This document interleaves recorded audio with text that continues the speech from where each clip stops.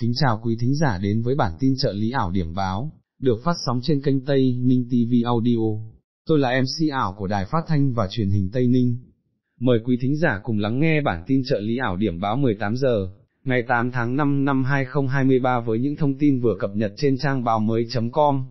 Mở đầu bản tin là những tin tức trong nước đáng chú ý. Thưa quý thính giả, thông tin từ đồn biên phòng ngư thủy, Bộ đội biên phòng Quảng Bình cho biết trận rông, lốc và mưa lớn đêm qua, và dạng sáng 8 tháng 5 xảy ra trên địa bàn các xã Ngư Thủy Bắc, và Ngư Thủy thuộc huyện Lệ Thủy đã làm 9 thuyền nan cùng 9 ngư dân địa phương gặp nạn, trên biển, trong đó, 8 ngư dân may mắn vào bờ an toàn, một ngư dân mất tích. Cụ thể, dạng sáng 8 tháng 5, có 9 thuyền nan cùng 9 ngư dân chủ yếu là người dân thuộc địa bàn xã Ngư Thủy Bắc, trong lúc khai thác hải sản trên biển bất ngờ gặp nạn và sóng đánh lật gây chìm thuyền. Khu vực các thuyền gặp nạn cách bờ biển địa phương khoảng 3 đến 5 hải lý, sau khi nắm được thông tin, đồn biên phòng ngư thủy, chính quyền địa phương, các lực lượng chức năng cùng người dân địa phương đã triển khai công tác hỗ trợ, ứng cứu và tìm kiếm cứu nạn. Đến sáng 8 tháng 5, 8 thuyền viên đã vào bờ an toàn, một thuyền viên mất tích là ông Nguyễn Văn Thở tên viết tắt, sinh năm 1971, chú thôn Trung Thành, xã Ngư Thủy Bắc, huyện Lệ Thủy. Đến 10 giờ ngày 8 tháng 5, lực lượng chức năng vẫn chưa tìm thấy thuyền viên mất tích. Thưa quý thính giả, Sáng 8 tháng 5, tại trụ sở Bộ Quốc phòng, Thượng tướng Hoàng Xuân Chiến, Ủy viên Trung ương Đảng, Thứ trưởng Bộ Quốc phòng đã tiếp đại tá Roman Ovan, Dozimetes Otega, Tùy viên quân sự, Hải quân và Không quân Cuba tại Việt Nam. Tại buổi tiếp, Thượng tướng Hoàng Xuân Chiến chúc mừng Cuba vừa tổ chức thành công tổng tuyển cử, bầu quốc hội khóa mới và các chức danh quan trọng của nhà nước theo hiến pháp, tin tưởng dưới sự lãnh đạo của Đảng Cộng sản Cuba, đất nước Cuba sẽ tiếp tục đạt được nhiều thành công, trên con đường xây dựng chủ nghĩa xã hội. Thượng tướng Hoàng Xuân Chiến nhấn mạnh, thời gian qua, quan hệ hữu nghị truyền thống đặc biệt Việt Nam, Cuba không ngừng được củng cố và phát triển, thể hiện qua các chuyến thăm cấp cao của lãnh đạo hai nước, gần đây nhất là chuyến thăm chính thức Cuba của Chủ tịch Quốc hội Vương Đình Huệ, vào tháng 4 năm 2023. Thưa quý thính giả, sáng 8 tháng 5, đoàn công tác của Liên minh nghị sĩ hữu nghị Nhật Bản, Việt Nam do ngài Nikaito Shihizo, hạ nghị sĩ, nguyên tổng thư ký Đảng Dân Chủ Tự do Nhật Bản, Chủ tịch Liên minh nghị sĩ hữu nghị Nhật Bản, Việt Nam làm trưởng đoàn đã kết thúc chuyến thăm và làm việc tại tỉnh Thanh Hóa, để lại ấn tượng tốt đẹp về mối quan hệ chân thành, tình cảm và tin cậy. Chủ tịch Liên minh nghị sĩ hữu nghị Nhật Bản, Việt Nam một lần nữa bày tỏ hài lòng với kết quả của chuyến thăm và làm việc, tại Thanh Hóa đã đạt được tất cả các mục tiêu kế hoạch đề ra, đồng thời ấn tượng với tình cảm của lãnh đạo tỉnh Thanh Hóa, đối với ông và các thành viên trong đoàn. Đặc biệt, trong chuyến thăm và làm việc lần này, ngoài tham dự hội nghị kết nối Thanh Hóa, Nhật Bản, ông và các thành viên trong đoàn còn được tham dự các hội nghị bên lề, đồng thời được đi thăm một số khu, điểm du lịch, khu kinh tế của tỉnh Thanh Hóa. Ngài Ni Cai tin tưởng với tình cảm trân trọng giữa hai bên, mối quan hệ giữa Nhật Bản Việt Nam nói chung và Nhật Bản, Thanh Hóa sẽ tiếp tục được bồi đắp và nâng lên tầm cao mới.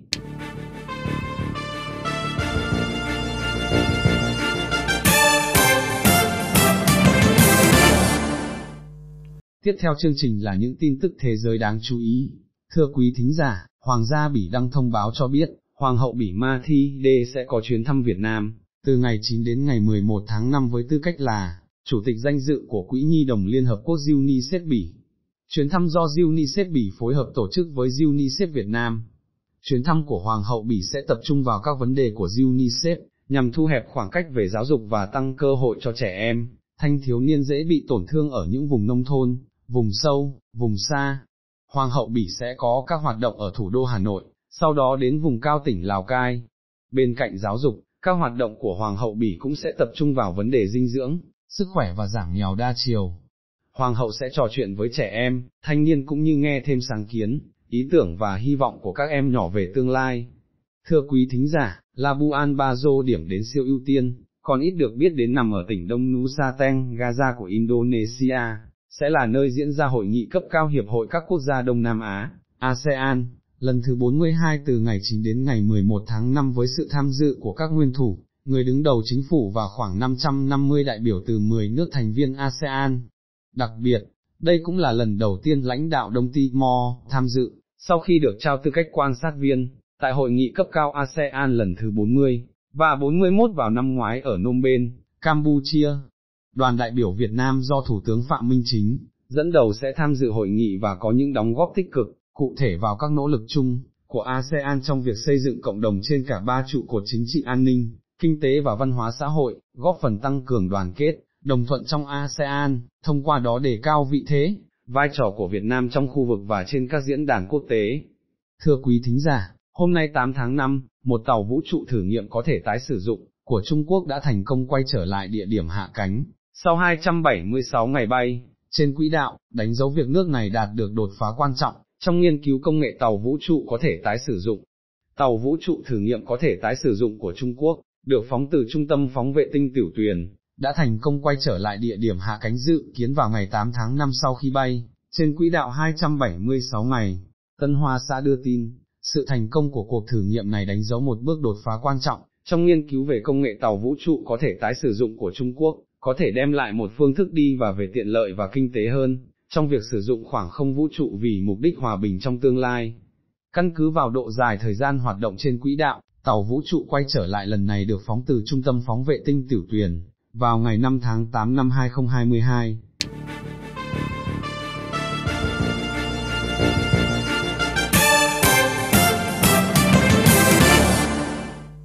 Thưa quý thính giả, nơi ở của tổ quản lý, bảo vệ rừng số 1 thuộc công ty trách nhiệm hữu hạn một thành viên lâm nghiệp công chiêng, huyện Mang Giang, tỉnh Gia Lai, nằm lọt thỏm giữa bốn bể núi dựng.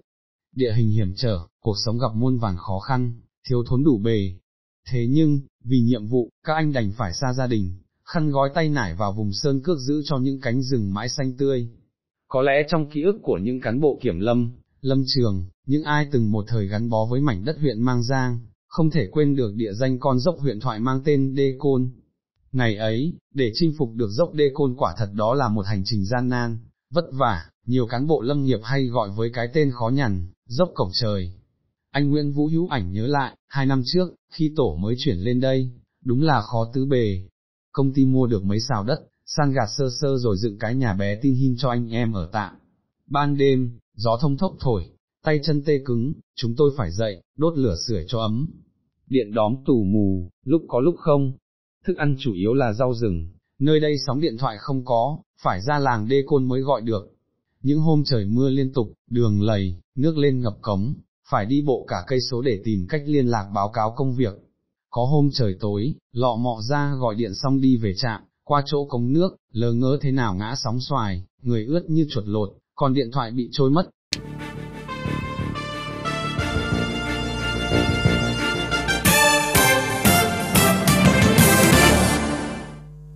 Thưa quý thính giả, măng đen, con tum đang nổi lên như một viên ngọc thô trong bản đồ của du lịch Việt Nam, một khu du lịch sinh thái mang tầm quốc gia đang dần hiện hữu. Đến nay, hạ tầng du lịch của măng đen đã từng bước được hoàn thiện, hình thành một khách sạn đạt tiêu chuẩn 5 sao, hai khu du lịch cộng đồng, một khu phố đi bộ. Ngoài ra còn nhiều khách sạn, homestay và nhà nghỉ khác để du khách lựa chọn.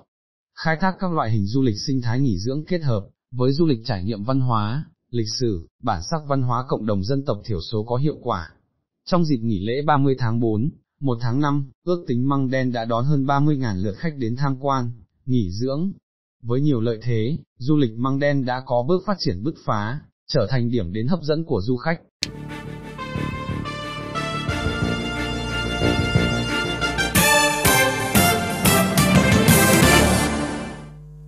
Thưa quý thính giả, hãng hàng không EasyJet, có trụ sở tại Vương quốc Anh tiết lộ nhu cầu du lịch, đến Tunisia đã tăng cao nhất trong số tất cả các điểm đến, mà họ phục vụ kể từ năm 2019.